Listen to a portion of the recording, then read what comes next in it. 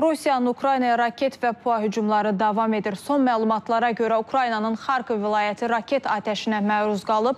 Nəticədə mülki infrastruktura ziyan dəyib, yanğınlar baş verib, 7 nəfər xəsarət alıb.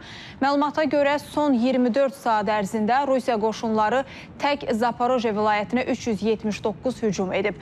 Rusiya Müdafiə Nazirliyindən bildirilib ki, ötən gün Rusiya ordusu qarşı tərəfin müxtəlif istiqamətlərdən çoxsaylı hücumlarını dəf edib, yüzlərlə canlı qüvvə və onlarla hərbi texnikasını məhv edib. Yeri gəlmişkən Polşa, Danimarka, Fransa kimi bir sıra ölkələr Ukraynaya verilən silahlardan Rusiyadakı hərbi obyektlərə zərbə indirməyə icazə verdiklərini açıqlayıblar.